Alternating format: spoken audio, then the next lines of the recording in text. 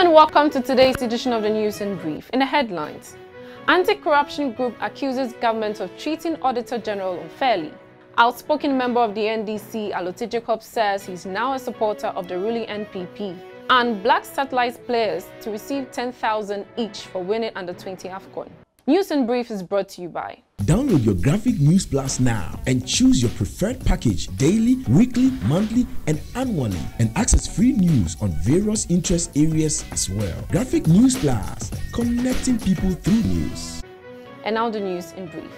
The Coalition of Civil Society Organization Against Corruption has charged the Presidency and the Audit Service Board of unfairly targeting the Auditor General, Mr. Daniel Yao Domelevo, and forcing him to go on retirement. A member of the group, Dr. Kojo Pumpuni Asante, who was speaking at a press conference in Accra on Wednesday, said the actions by the audit service confirms belief that Mr. Domelevo was unfairly treated. Mr. Domelevo exhausted his 167-day mandatory leave and reported to work on March 3. However, days before resuming work, the Audit Service Board in a letter addressed to the President stated that Mr. Domelevo should have retired on June 1, 2020. The hurriedly orchestrated queries and decisions taken by our Audit Service Board, acting in concert with the Office of the President, and the President's unilateral decision to forcibly retire Mr. Domelevo on the same day he returned to post from an equally forced accumulated leave confirms our belief that Mr. Domelevo has been unfairly targeted. The coalition notes with regret that the Supreme Court is yet to determine two suits relating to the constitutionality of the Auditor General's false accumulated leave by the President, which was filed by Professor Kwaku and nine CSOs in July and October 2020 respectively. In part, this delay in hearing these time-sensitive cases have rendered some of the issues raised before the court moot and has allowed a grave breach of, of the Constitution to fester, at least in our estimation. The former Central Regional Chairman of the opposition National Democratic Congress, Bernard Allotey Jacob, says he's no longer a member of the NDC party. He has switched allegiance to now support President Akufo-Addo's agenda for the country. Mr. Allotey Jacobs, who was speaking on Accra-based Peace FM's radio program Wednesday morning, explained that the president and his vice, Dr. Mahamudu Bawumia, have so far done a good job in managing the affairs of the country. He says although he is not a member of the New Patriotic Party, he will support the NPP government. Mr. Allotey Jacobs was suspended from the NDC in 2020 for what the party described as his persistent anti-party conduct. We have a president in the person of Nana Akufo-Addo, and that is why I have declared to support him and his vice president. Yeah, yeah. Kami, Morokan Wawu studio ha, they I no longer belong to NDC. Hey.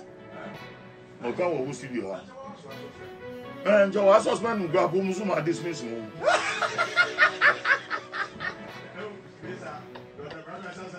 No.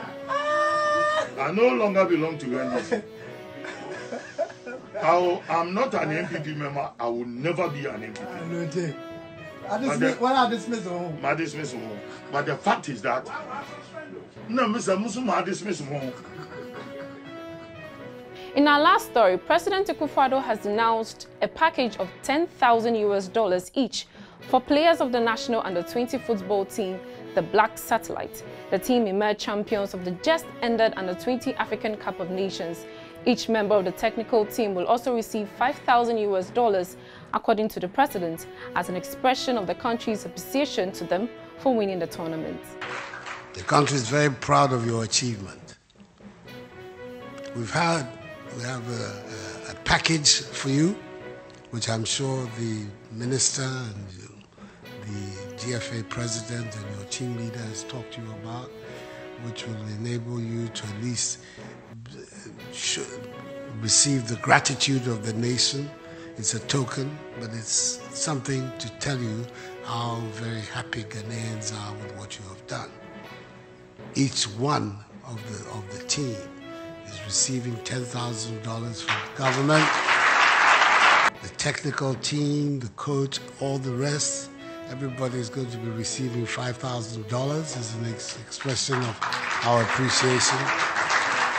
Because we know that sports is a short journey, life of the top is, is a short journey.